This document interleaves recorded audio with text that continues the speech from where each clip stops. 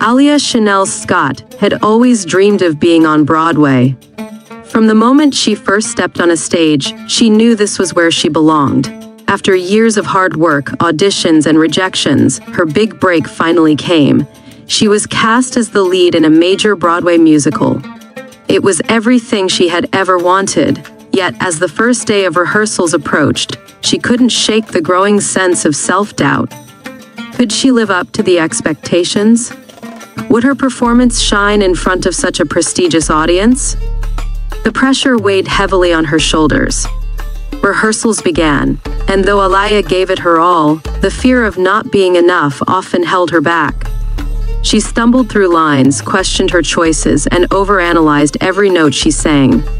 Her castmates noticed the tension, but they rallied around her, reminding her of the talent and passion that had gotten her this far. You've got this, they told her. Just trust yourself. One evening, after a particularly difficult rehearsal, Alyah sat alone in the empty theater, staring at the vast rows of seats. This stage, this moment, was everything she had worked for. She realized then that the only thing holding her back was her fear of failure.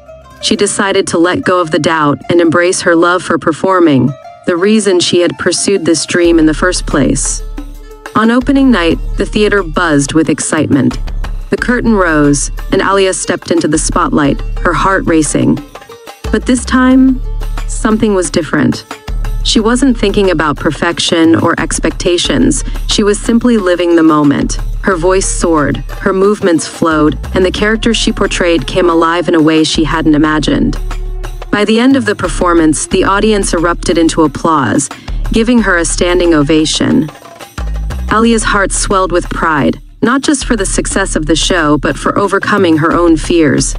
She had trusted herself, and it had paid off in the most beautiful way. As she took her final bow, Alyah knew that this was only the beginning. She had found her voice, not only as an actress, but as someone who believed in herself. The journey to this moment had been long, but it had all been worth it.